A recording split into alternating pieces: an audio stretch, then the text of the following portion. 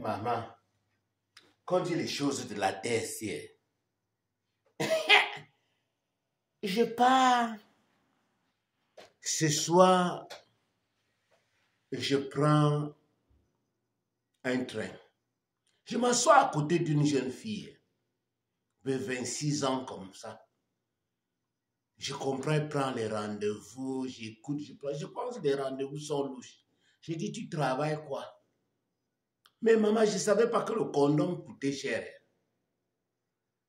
Elle me dit que non, je fais un travail que bon.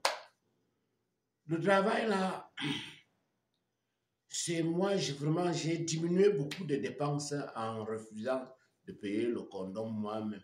Donc chaque client doit venir avec le condom. C'est pour ça que moi, je l'ai dit de venir avec. Hmm. Vous voyez, donc, je ne savais pas où, que vraiment les prostituées, les wakas, les tout ça, utilisent le condom comme ça et ne payent jamais le condom. Donc, c'est quelqu'un d'autre qui doit payer leur protection.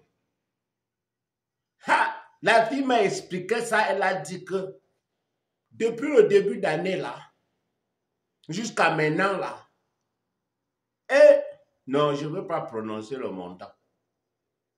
Elle a fait ses calculs.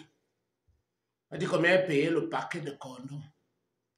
Et maintenant, combien il y avait de condoms dedans. Elle m'a dit combien de paquets elle a déjà utilisé. Mais les prostituées sont fortes.